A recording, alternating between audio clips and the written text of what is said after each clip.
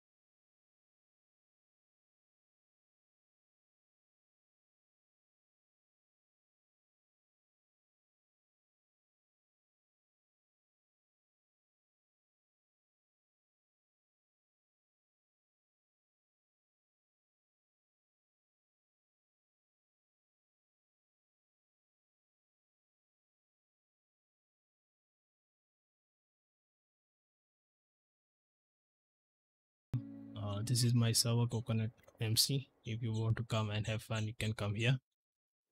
Let me add my server. Local host. Because this is running on my PC, so you have to type local host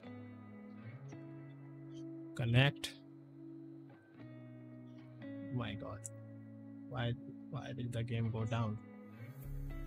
And yeah, it's up and running if you have any problem making this uh, jar file or anything you need help with you can join my discord. Uh, i may help you there if i can. So uh, feel free to drop a comment. If you like the video please share it with your friends. It will help me a lot.